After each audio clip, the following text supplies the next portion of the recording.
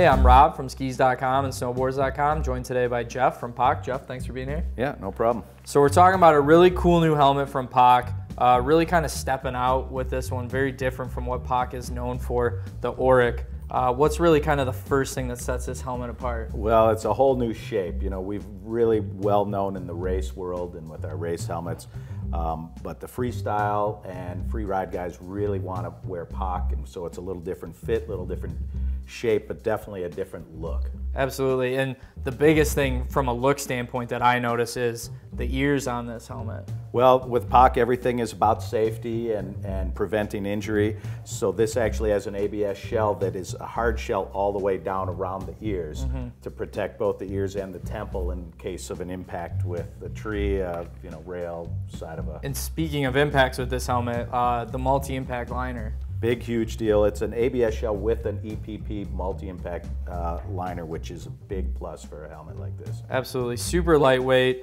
Uh, also has adjustable venting on it too. Yep, you can uh, ma manually adjust the venting. It's got chimney vents and goggle vents. Uh, very lightweight.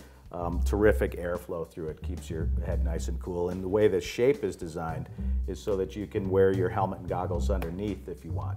Absolutely. And then speaking of shape too, there's a little more padding in some places than there is in other places. Right. And that's again for impact resistance um, and for comfort. Absolutely. So you were saying that this is really, you know, geared maybe more for like the freestyle guy. Trying yeah, with the look, it's it's definitely sort of skate inspired. Um, one thing we didn't mention is the ear flaps. They're removable, so you can put in ear flaps, take them out. Hot days, cold days. For like sure, that. yeah. Or if you're not wearing a beanie, you don't need them. Right. Absolutely. You know, that kind of thing. Awesome. Very cool helmet from POC. Really excited for it. The Auric. You can check it out on skis.com and snowboards.com. Jeff, thanks for joining us. Absolutely. And thank you for joining us.